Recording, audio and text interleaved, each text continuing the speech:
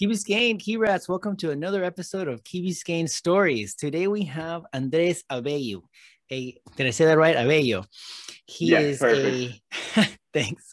This is he's a Key Biscayne resident for his entire life, 31 years, and he's the co-founder of Paddle, which we get to see. For those that are watching, they can see the paddle on the back and the hat, of course, and uh, very popular, very very popular in the Key and I look forward to hear the story. So, Andres, welcome on the show. Thank you for joining us. No, thank you so much, Alejandro. I really appreciate it. I, I've heard a couple episodes already, so couldn't be happier to be featured here. Uh, like I've told you before in our previous conversations, I mean, anything key related, I'm happy to be a part of. So uh, excited for you having us on here. Thank you, thank you, thank you, thank you. So, let's get your Cuban skate story. So, you were born. You said you were born in Baptist. You came down here. This is pre-podcast. He told me this. Um, so, 31 years. That's a long time. Yeah, so I mean, I was born and raised here in Key Biscayne and uh, I grew up with both of my co-founders in the company. We, we were the three best friends. I mean, we were fishing, diving, anything around the island. We knew every lobster hole that there was, and uh, still to this day, we keep a couple secret ones. But coming around lobster season is something you gotta keep as a prized treasure. We just had a little mini season, right? A little mini one day. yeah, yeah, yeah. Yeah, we had the mini lobster season, and we have the season, the the main season opening up now. That's awesome. I have my friend, my friend Corey Blanco.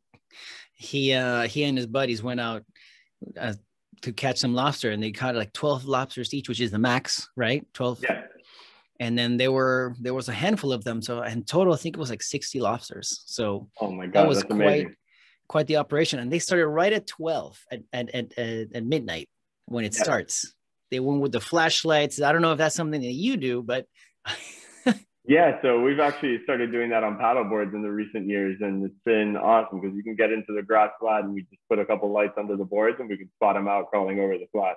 So it's another great, great use of this equipment back here. Oh, that's awesome. That's awesome. So tell us, tell us a little. Let's normally I talk, I ask my guests about Key Biscayne closer to the end, but since you've been in the Key for so long, what is your favorite part of the Key Biscayne? Would you say? uh, I love that it's surrounded by water. I mean, like I said, growing up here, uh, we had inflatable dinghies that we would zip around the island far before we had cars. So, I mean, everything we did was water related. Um, it, it's it, there's no better place to be. I mean, what I tell anybody that that's looking towards Key Biscayne as a potential place to live or anything, I now have two kids, so just uh, there's no better place to be. By the time you're 10 years old, you're walking around the island by yourself. You're able to explore. You're able to do things with friends, family that you really can't do anywhere else. It's just uh, the best place in my eyes. And how would you describe for me um, a perfect weekend in Key Biscayne for you? The perfect weekend is getting out on the boat one day and getting onto the beach the next day.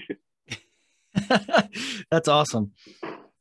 Yeah, no, getting getting on the boat is definitely nice. And when you get out there and the and the water is blue as it can be, is amazing.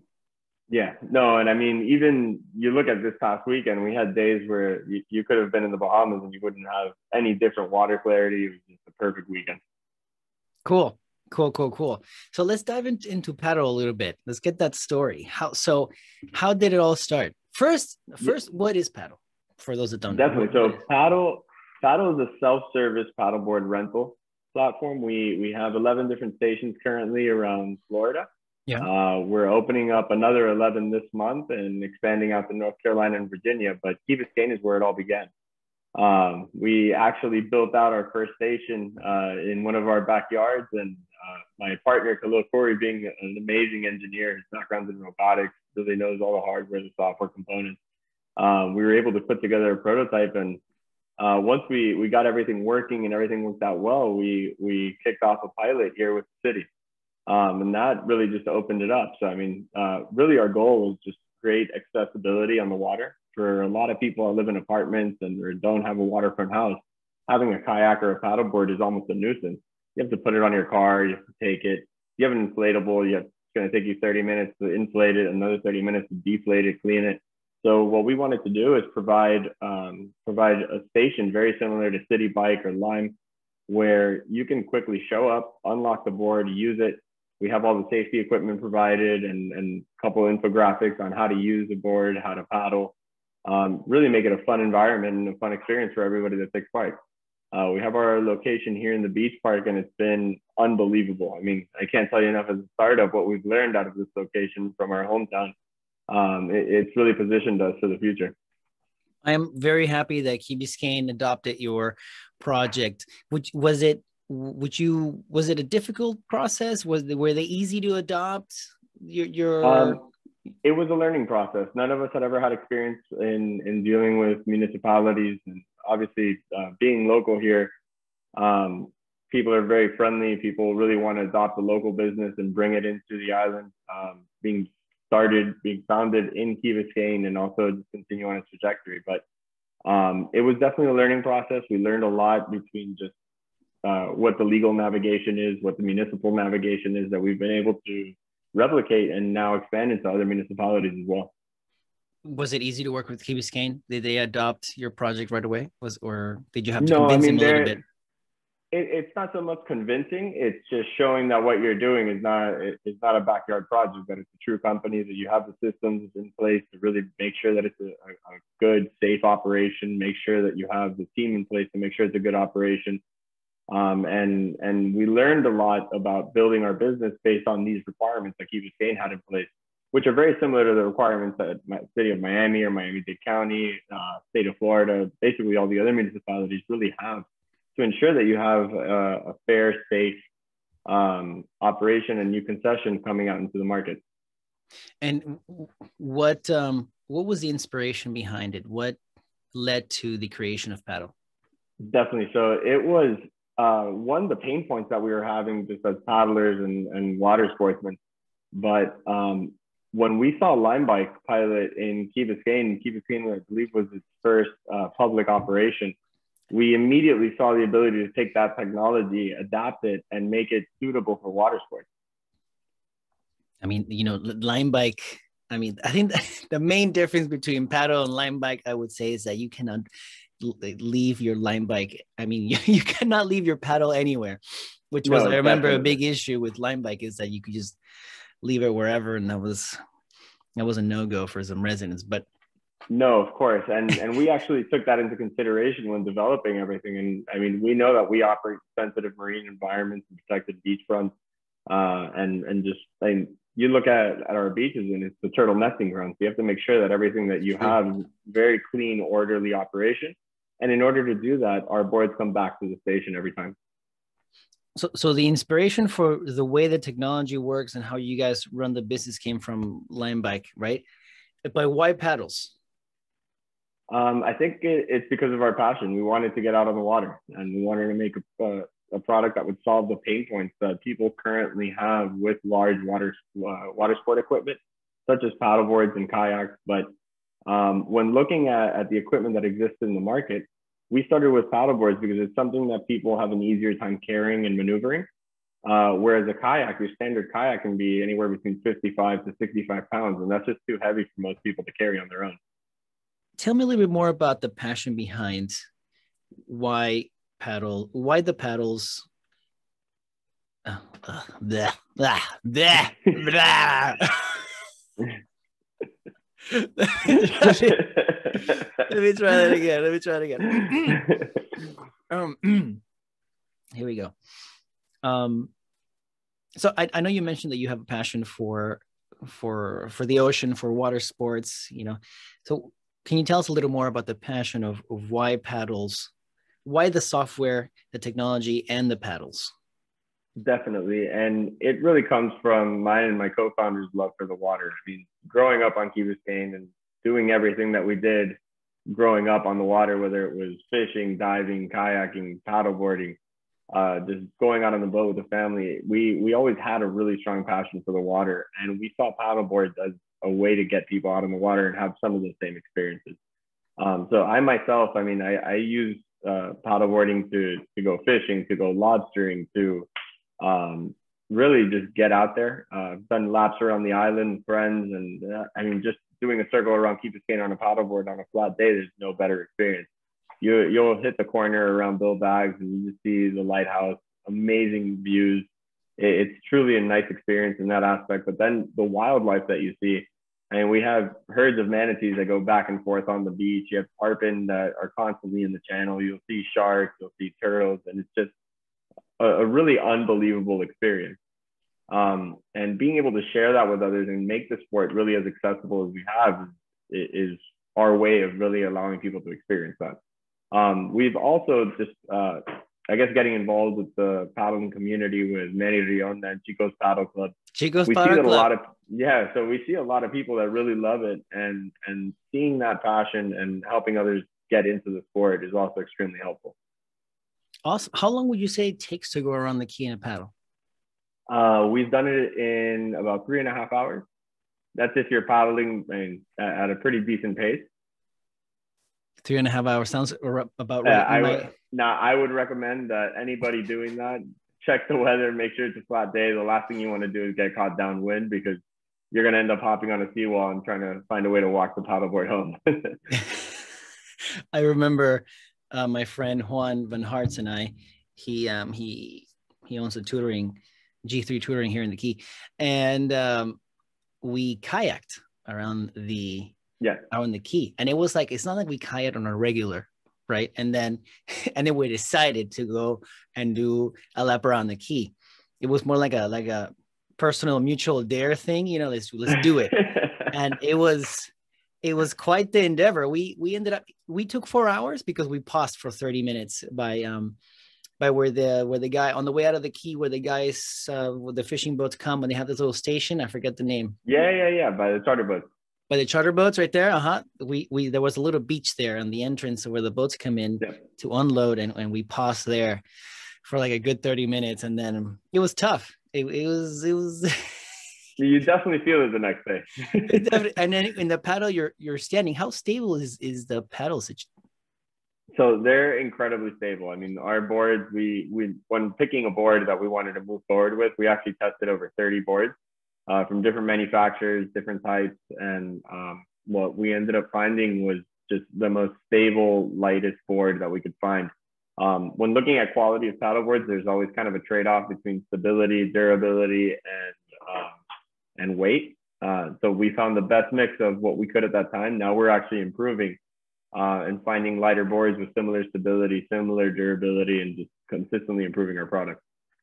That's awesome. I mean, it's uh, like I mentioned before when we were on the phone. It's awesome to see how you have been growing. We'll we'll we'll, we'll tap into that a, little bit later about your growth. Um, before we do that, where is the paddle station in the key?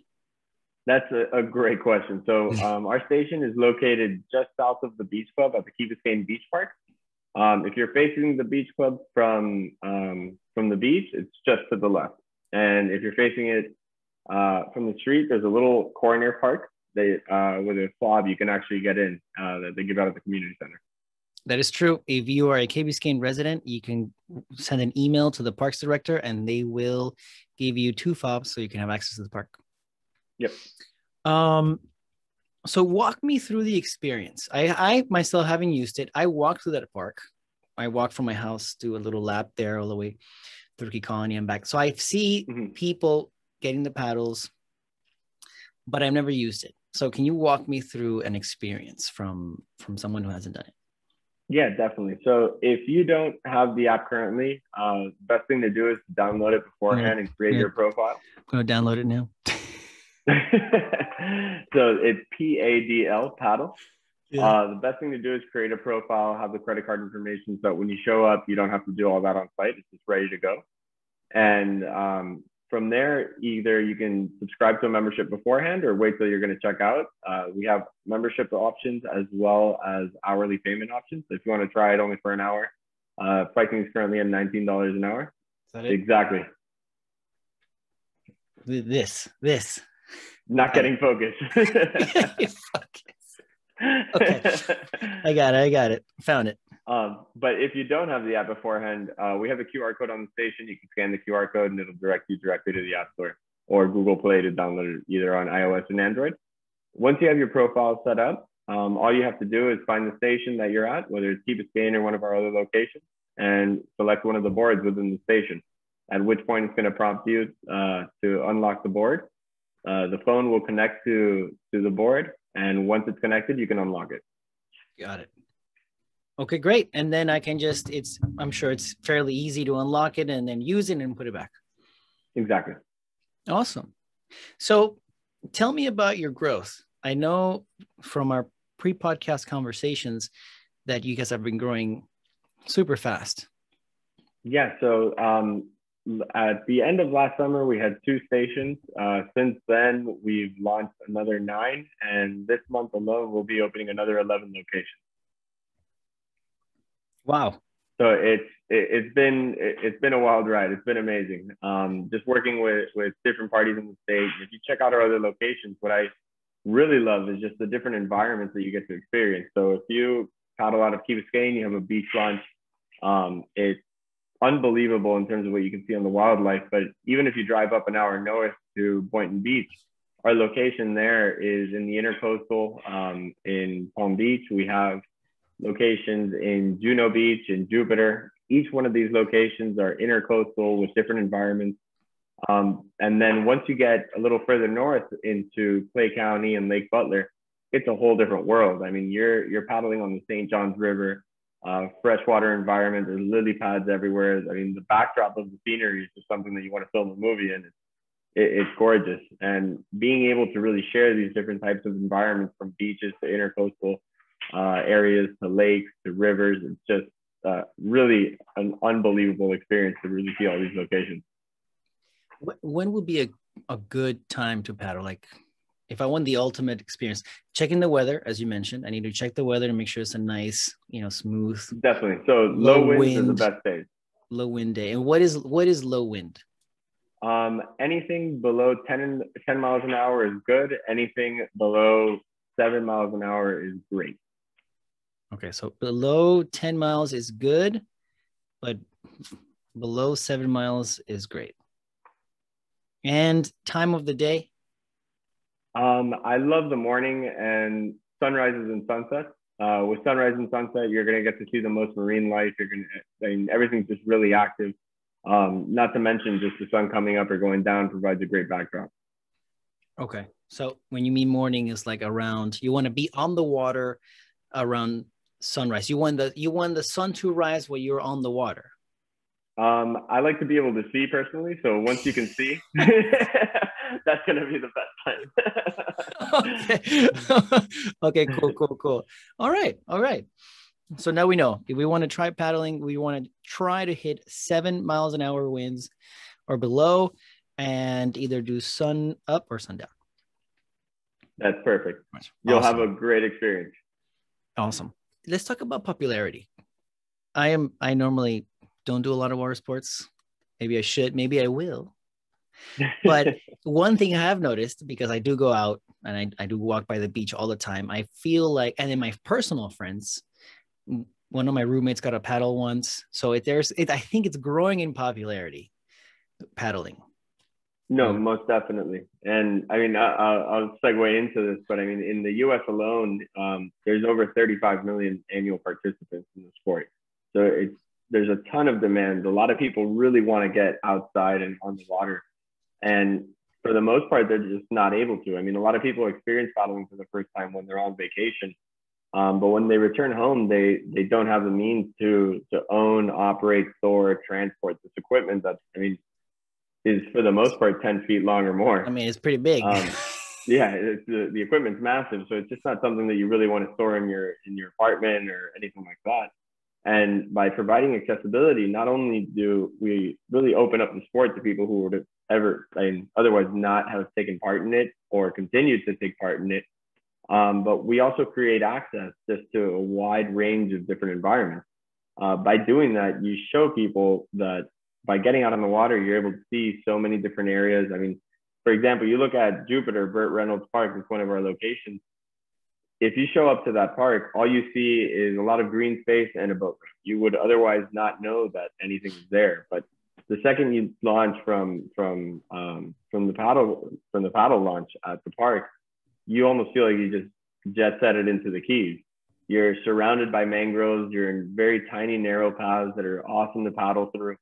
um, and you just have a ton of marine life up there. I mean, I, I can envision people like this uh, motivating travel across Florida, knowing that now you could do paddle somewhere else and you don't have to take your stuff, you don't have to own a paddle board, and you know that the paddle system is allowing you to access places, like you said, that normally you would not be able to have access to. Yeah.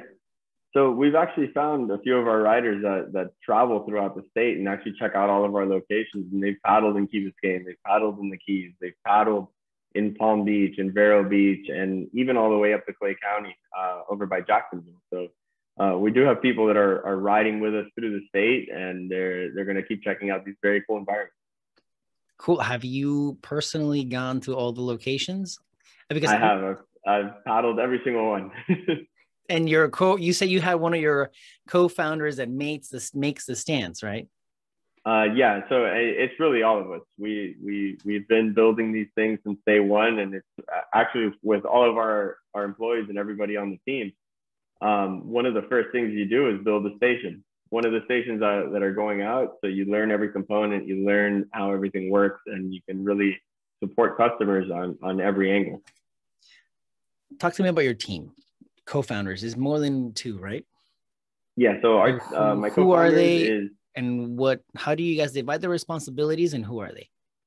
So being a startup, we all wear many many hats. Um, yeah, yeah. Everyone's in sales. Everyone's in customer support, um, and and it, it's nonstop. But when you really look at our key backgrounds, uh, my partner Felipe Jauregui, he has a strong background in operations, uh, really assisting us as in having so many stations throughout the state. We have station partners at these locations that work with us that act as our, our local brand ambassadors and boots on the ground.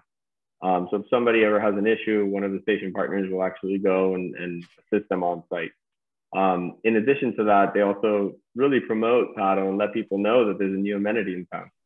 Um, my other partner, Khalil Khouri, he is uh, probably the smartest guy in the room.